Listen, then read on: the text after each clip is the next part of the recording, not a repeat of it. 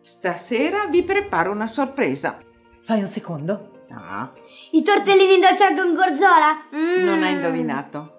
Ve lo dico? Per forza. Ve lo dico.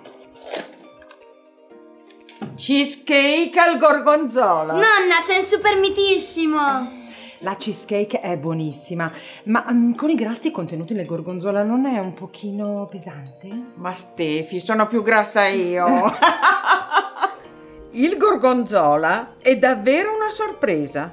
Pensa che possiede solo 27 grammi di grassi su 100 di prodotto. Ecco perché è gustoso e al tempo stesso leggero. E grazie all'intensa attività microbica durante la stagionatura è altamente digeribile. Guarda mamma, il consorzio dice che nel gorgonzola DOP anche il calcio è altamente biodisponibile e che il rapporto calcio-fosforo è ottimale.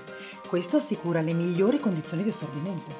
Il gorgonzola è un formaggio buono e senza segreti. Certo, quando si è informati si mangia meglio e si gusta ancora meglio. Michelino, intanto noi prepariamo degli stuzzichini sfiziosi e leggeri. E io proporrei degli spiedini di gorgonzola, di uva e di noci.